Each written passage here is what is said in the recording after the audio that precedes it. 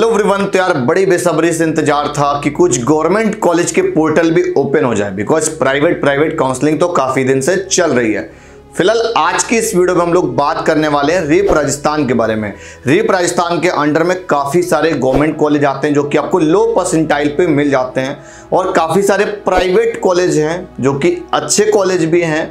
मैं बोलूँगा कि as an equivalent greater Noida के अंदर जो कुछ टॉप प्राइवेट कॉलेज हैं उनके इक्विवेलेंट तो हैं ही, लेकिन बस यहाँ पर एक अच्छी चीज़ ये है, जितनी अपने यूपी में प्राइवेट गवर्नमेंट कॉलेज की फ़ीस है, जितनी अपने यूपी में गवर्नमेंट कॉलेज की फ़ीस है eighty thousand eighty five thousand ninety thousand या जैसे कि आईईटी लखनऊ में आईटी और आई थिंक ईआई ब्रांच की वन लाख फोर्टीन थाउज़ेंड है।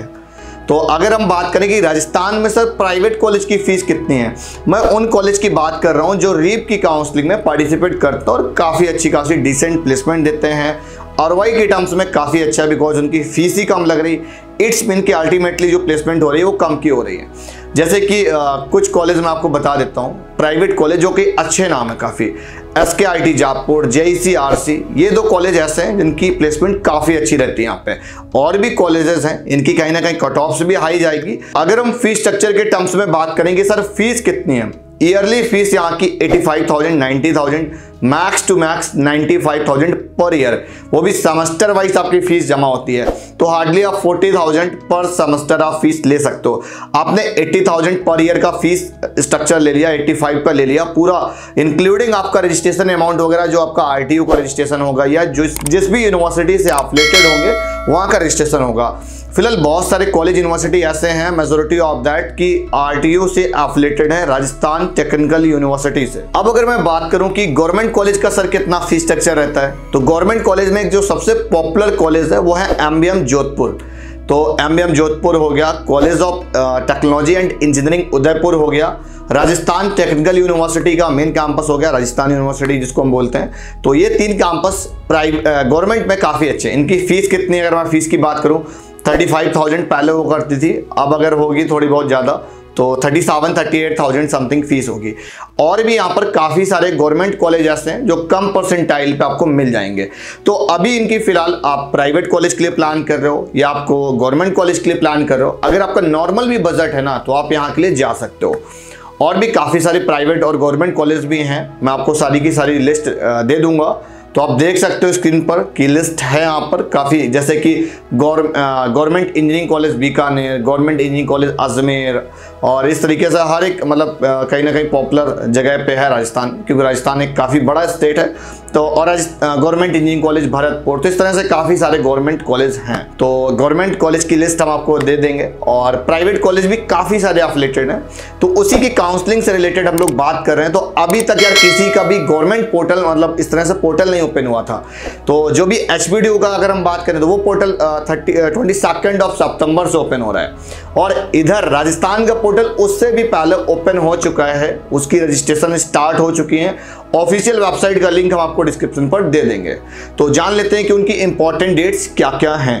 अब अगर मैं बात करूँगी सर इसकी ऑफिशियल वेबसाइट क्या है REAP REAP twenty twenty one dot com तो यार इनका early last year 2020 dot com थी इस बार 2021 डॉट कॉम हो गई है। इनका uh, जो भी लोग राजस्थान से बिलोंग करते हैं तो अगर उनकी परसेंटाइल वगैरह कम है तो देन अगर उनका बजट भी कम है साथ साथ तो वो यहाँ पर जा सकते हैं। उनके लिए एक अच्छी चीज़ और होगी कि वो स्टेट गवर्नमेंट वाला जो स्कॉलरशिप का फंडा उसमें भी अप्लाई कर सकते हो।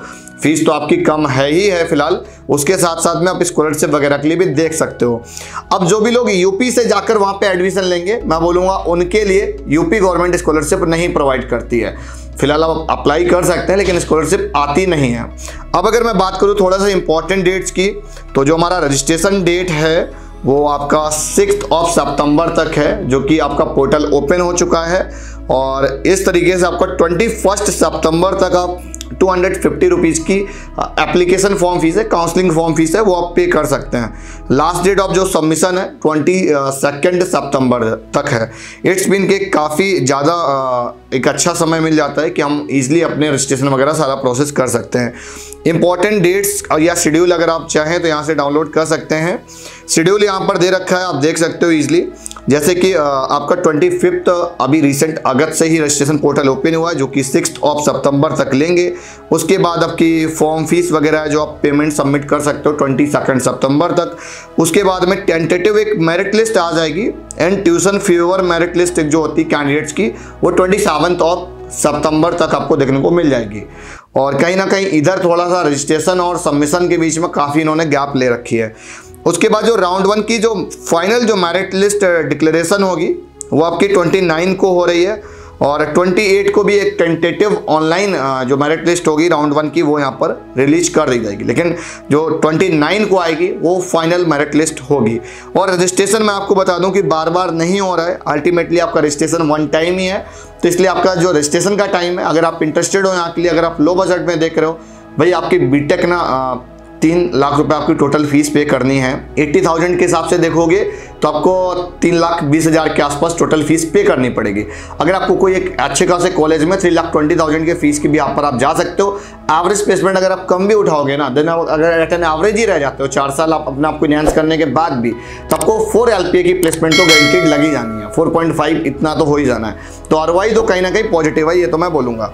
उसके बाद में आपका last date of choice filling उसके बाद थर्टी का आपको चॉइस फिलिंग होगा, जो फाइनली जो सीट अलॉटमेंट आएगा वो आपको फ़र्स्ट राउंड की, वो फ़र्स्ट अक्टूबर तक आपकी अलॉटमेंट आ जाएगी। उसके बाद में आपका इसी तरह से सिमिलर प्रोसेस चलता रहेगा राउंड वाइज आपकी अलॉटमेंट आएगी आपका सबमिशन होगा डॉक्यूमेंट्स होगा फ़ीस सबमिशन होगा सीट ब्लॉकिंग अमाउंट वगैरह आप सबमिट कर रहे हो इस तरह से इसका पूरा प्रोसेस चलता है। तो अगर आपको रेप की काउंसलिंग में पार्टिसिपेट करना है तो आप इनकी ऑफिशियल वेबसाइट पे जाकर रजिस्ट्रेशन कर सकते हो।